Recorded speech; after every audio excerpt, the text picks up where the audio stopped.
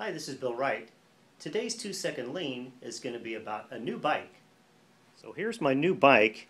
It's a Specialized Secteur Elite with disc brakes, which is an upgrade, and the water bottle cages rotate out to the right so it's easy access while you're pedaling down the road.